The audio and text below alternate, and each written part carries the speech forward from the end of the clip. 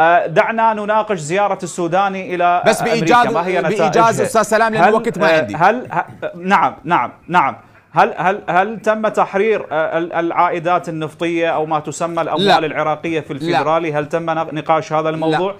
بقي الأمر كما هو، هل تم النقاش في أهم أزمة سياسية تضرب حكومة وتواجه حكومة السوداني وهو الانسحاب الأمريكي؟ لا لم يناقش هذا الموضوع. الرئيس الأمريكي بالأمس بايدن سيد المساري إذا تسمعني الرئيس الأمريكي آه، بالأمس إلى جانب السوداني رئيس حكومة المقاومة.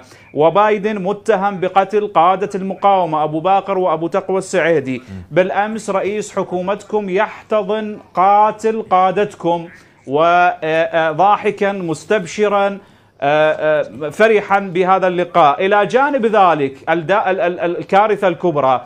بايدن صرح علنا وفي إشارة إلى السودان يقول بأنه أمريكا ملتزمة بايدن تعهد بالأمس إسرائيل. أمام السوداني بحماية أمن إسرائيل بحماية ألكيان الصهيوني.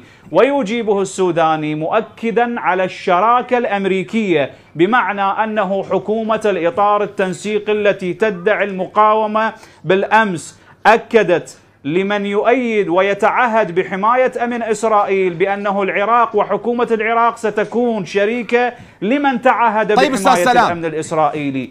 هذه هذا ضرورية توضحونها للجمهور العراقي سيد طيب. المساري طيب. حتى يفهم جمهوركم وهو طيب حتى يفهم جمهوركم وهو أقلية الأقلية بما أنه أنت تقول بأنه يجب قلت لمحمد قبل قليل يجب أن نحترم القرار العراقي والإطار التنسيقي وجوده في السلطة هو قرار امتثالا للإرادة الشعبية. هذه مغالطة. أنتم في السلطة لستم لا ولا تمثلون الإرادة العراقية ولا تمثلون الأغلبية العراقية يا عزيزي. طيب أستاذ أنتم أقلية سلام. الأقلية كإطار طيب أستاذ سلام. ووصلتم إلى السلطة بأدواتكم السياسية التي تقولون بها هي أدوات ضغط وهو السلاح. طيب.